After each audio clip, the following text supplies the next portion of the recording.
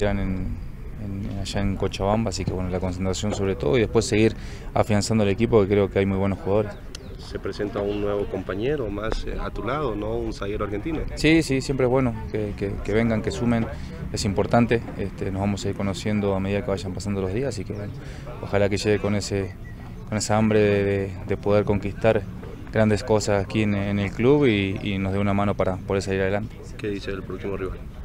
No, tiene un gran equipo también, si bien ascendió recién, este, tiene buenos jugadores, así que bueno, nosotros más que nada pensar y enfocarnos en lo que vamos a hacer dentro del campo de juego, tratar de, de, de no perder más puntos en casa, como dije recién, y bueno, y tratar de darle una alegría a la gente y a nosotros mismos. A jugar con todo, ¿no? Porque después de esto se viene una fecha FIFA. Sí, sí, es lindo terminar, Dios mediante, ganando eh, este último partido ante la fecha FIFA, así que bueno, se trabajará más tranquilo y pensando ya en lo que se viene.